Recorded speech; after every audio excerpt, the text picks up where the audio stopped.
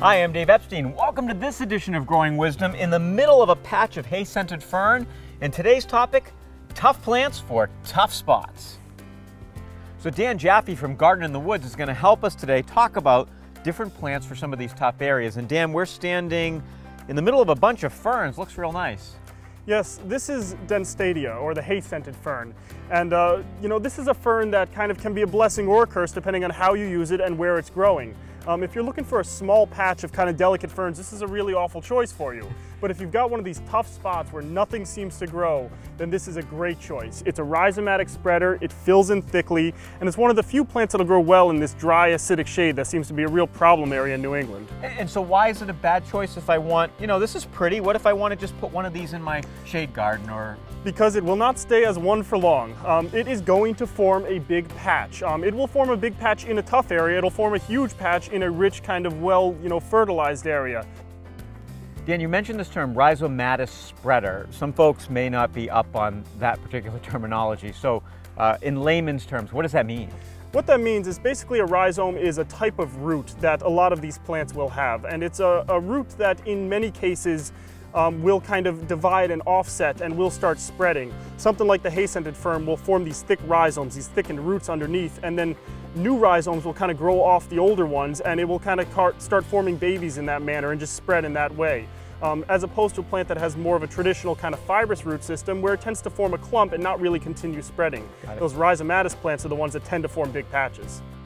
It's not a plant that will grow around other plants. It'll, it's a plant that will grow right through them. Okay, so these tough plants, folks, they're great for tough areas because they are tough, but if you put them in an area that's not tough, they're going to spread really quickly. Exactly. Um, this is, you know, a great plant when used appropriately and almost more of a weed when it's in an area where you don't want it growing.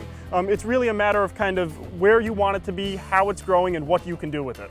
Okay, so we've got the hay-scented fern. What are some other thoughts on plants for some of these tough areas. So tell me about the area they're good for and then the particular plant. Yep, uh, one of my favorite ones that I really like to talk about is the lowbush blueberry. And the reason I like this one is because if it's dry soils, it will grow well there, whether it's in full sun on the side of a rock face or in the deep kind of dry acidic shade similar to the hay-scented ferns. And who doesn't like a blueberry? I mean, you get that flower in the spring that's really nice looking, that of course edible berry that tastes great, great fall color, and despite the fact that it's a plant that we normally think of for kind of rich, well areas, it will grow very well in some of the nastiest spots. So, you know, when we're talking shade, uh, one of the questions I get sometimes is that people try to put a lawn underneath a maple tree and it just, you can't get grass to grow. Would, would that plant or the hay-scented fern, would either of those be good for those real tough areas?